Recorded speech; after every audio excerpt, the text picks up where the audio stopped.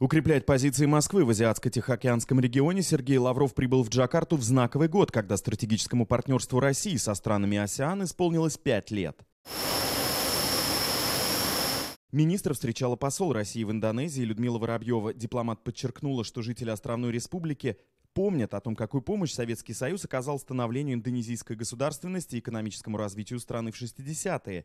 Настоящее и будущее российско-индонезийских отношений, в частности, формирование архитектуры безопасности в Азиатско-Тихоокеанском регионе, Сергей Лавров обсудил уже на встрече с индонезийской коллегой Ритно Марсуди. Мы всегда поддерживали этот формат, ценим усилия Индонезии как председателя этой организации в 2023 году по продвижению ценностей и принципов АСЕАН в контексте развития стран Азиатско-Тихоокеанского региона, с учетом региональной архитектуры, которая, как мы все согласны, должна стать асианоцентричной. Это лучшая основа для взаимовыгодного и взаимоуважительного сотрудничества. Индонезия привержена этим принципам. Надеемся, что это будет успешно воплощено.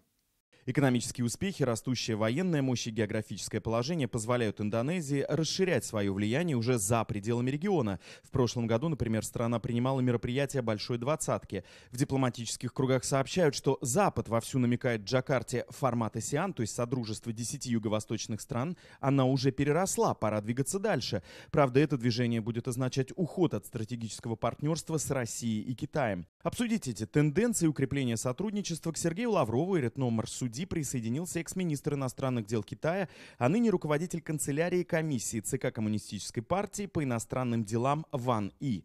«Передаем пламенный привет изоляторам России», написала в этой связи представитель МИД Мария Захарова.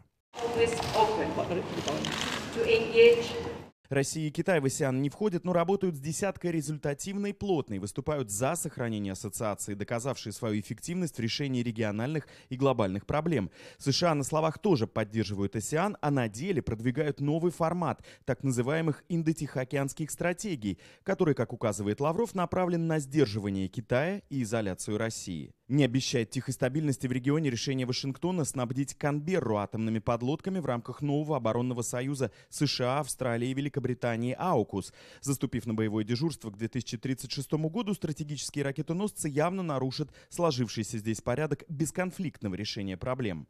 Госсекретарь США Блинкин, кстати, тоже направляется в Джакарту из Вильнюса с саммита НАТО. Региональную безопасность и расширение сотрудничества Сергей Лавров также обсудил с коллегой из Лаоса. Эта страна не намерена занимать чью-либо сторону во всех существующих конфликтах и спорах, но понимает необходимость поддерживать равноправные связи на фоне кризиса международных отношений.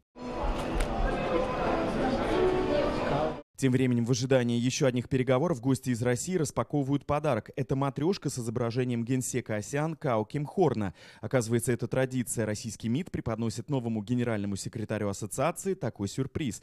Као Ким Хорн занял свой пост в начале года, став первым гражданином Камбоджи на должности генсека АСИАН. И каждая матрешка, соответственно, больше предыдущей.